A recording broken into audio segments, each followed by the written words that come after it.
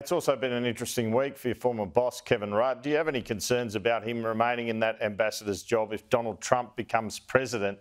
How will he negotiate what he said about Trump before to where he is now? Look, the main concern I have is that we continue to take a Team Australia approach in relation to our ambassadors around the world. You know, one of the best things about Australian politics is that we always put domestic politics aside and no matter who's in power or no matter who appointed an ambassador, both sides of politics support that person. You know, Labor did it with the two previous Liberal appointees, Arthur Sinodinos uh, and Joe Hockey.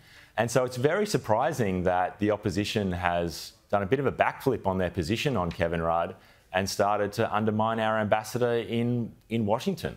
Now, I don't know why Peter Dutton is doing this. I don't know whether he's trying to suck up to Donald Trump or whether he's just trying to score some political points. But it's really damaging for Australia for us not to take a Team Australia approach and support our ambassadors no matter who they are or who appointed them.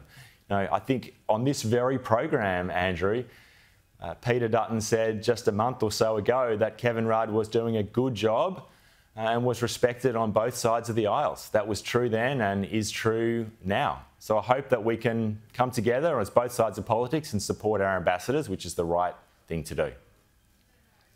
All right, uh, I wanted to ask you about the religious freedom changes. You've got a very multicultural electorate there in Parramatta. Obviously, this is of interest to your community. A lot of people there would, would oppose these changes. Do you think they have the ability to offend communities or, or cause schools of faith to have to do things they don't want to do? Look, this is something that we talk about in my community all the time. Uh, as you say, Parramatta has people from every faith and creed, and this is a really important issue for them. It's a really important issue for schools, it's a really important issue for students, for teachers. You know, when we talk about this issue, everybody agrees on one thing. Everybody agrees that we need to make sure that all Australians feel respected and the second thing we agree on is that this issue is too important to be a political football. You know, we can't allow it to become politicised, and that's why the government is taking the approach that it has taken, which is to say we'll work on this issue in a bipartisan way and try and bring people together to make sure that everybody feels respected, whether they're a student in Parramatta or a religious school or a person of faith. They all matter and they all have to be respected. Now, as a member of the Parliamentary Economics Committee, you have con concerns in terms of grocery prices. You yourself used to work as an executive for the Coles organisation, and you're saying today that Australia has the third highest grocery prices in the G20 and that our groceries are 33% more expensive than the UK. Take us through this and how much of this is due to the market domination of Coles and Woolworths? Well, you're absolutely right, Andrew. Australians pay very high prices for groceries. In fact, Australians pay 54% more than the world average for food, and that's been established by a number of sources. And what that means is if something costs $10 in another country, Australians might be paying $15 for it.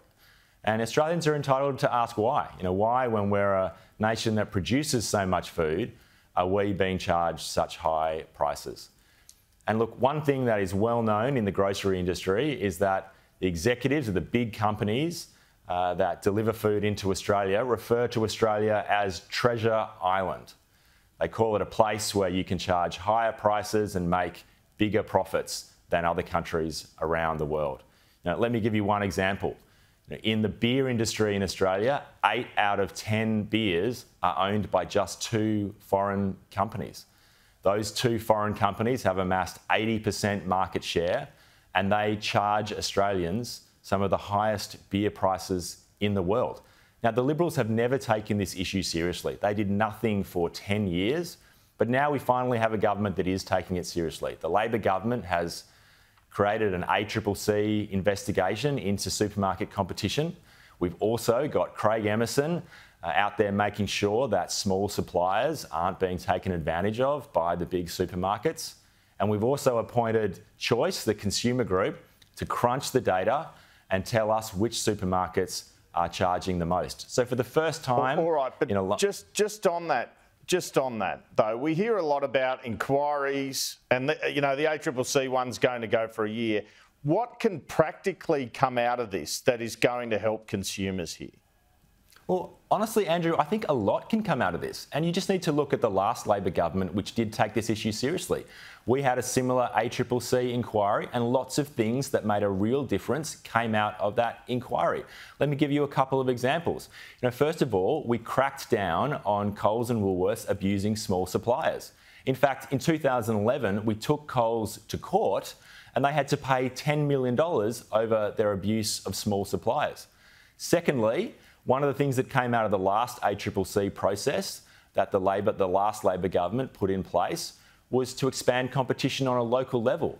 We made sure that Coles and Woolworths couldn't continue to do what they were doing at the time, which is to put restrictive clauses into their leases, which told the shopping centres that if they had a Coles or a Woolworths in the shopping centre, they couldn't have any other competitors. We phased those out during the last Labor government. That came out of one of the inquiries. And that's exactly what we're doing right now. We're taking this issue seriously. We're pursuing it methodically through these inquiries, and I expect similar positive results for competition and positive results for consumers to come out of All those right, inquiries. Just, just